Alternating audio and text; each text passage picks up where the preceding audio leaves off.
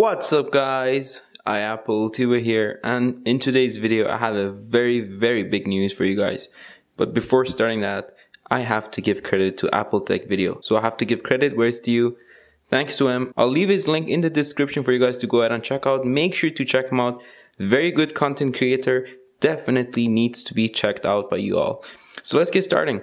So the important thing you might have noticed already by the title. What does this mean? So yes, in my opinion, Cydia alternatives are about to die completely off.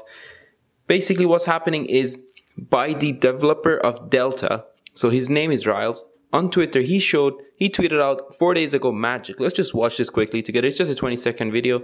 So he's basically installing something. He's installing an, uh, emulator, but let's see what he does.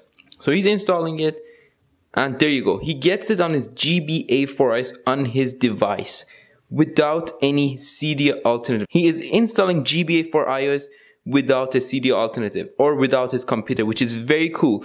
And if you scroll down to his recent tweets, which is today, you can see he's been able to download GBA for iOS, I, iNDS, iTransmission, PPSB, Popcorn Time. So it's not even just emulators. He's even been able to download Popcorn Time, which is a movie app. Let's go ahead and see more. So he's basically still showing off that he's being able to get all of these apps working. So now what does this mean? If so, if basically Riles decides to publish the method and tell the community how he's doing this, we all can now be able to install all of these cool Cydia apps without a jailbreak and without a Cydia alternative.